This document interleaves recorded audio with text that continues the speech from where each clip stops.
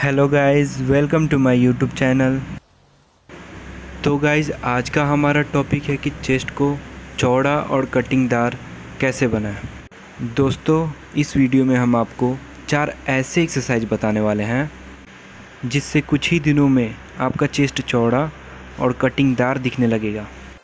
तो चलिए बिना किसी बकचोदी के वीडियो को स्टार्ट करते हैं। एक्सरसाइज नंबर वन इस एक्सरसाइज को पुशअप कहते हैं। यह एक्सरसाइज करने से हमारा चेस्ट चौड़ा और हमारे ट्राइसेप में मसल्स ग्रो होने लगते हैं। इसे हम दोनों हैंड को स्ट्रेट करके अपने चेस्ट के सेंटर में रखते हैं। इसको तीन सेट में पूरा करते हैं बारह बारह रिप के। एक्सरसाइज नंबर टू यह एक्सरसाइज को हम डिक्लाइन पुशअप कहते हैं। इसको हम अपने पैर को किसी ऊँची स्थान पर रखकर और अपने हाथ को नीचे रखकर करते हैं। इस एक्सरसाइज को करने से हमारे अपर चेस्ट में बोट ग्रो होता है।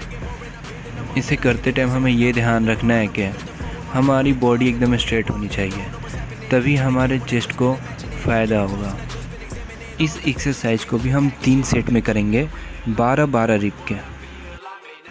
एक्सरसाइज नंबर थ्री इस एक्सरसाइज को इंक्लाइन डंबल प्रेस कहते हैं। ये एक्सरसाइज को करने से आपके मिडिल चेस्ट बढ़ने लगते हैं और आपकी चेस्ट स्ट्रॉन्ग होने लगते हैं।